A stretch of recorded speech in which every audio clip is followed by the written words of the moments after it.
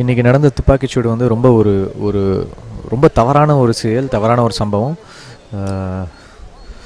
உயிரிழந்த தோழர்களுக்கு என்னுடைய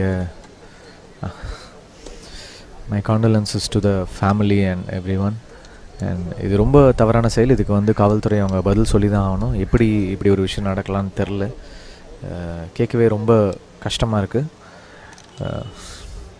ஒரு கோர்ட்டுக்கிட்ட பெர்மிஷன் வாங்கி நம்ம வந்து ஒரு ப்ரொட்டஸ்ட் பண்ணுறோம் எப்படி இப்படி உயிரை வந்து சாதாரணமாக சுட்டுக்கொள்கிறாங்கன்னு தெரில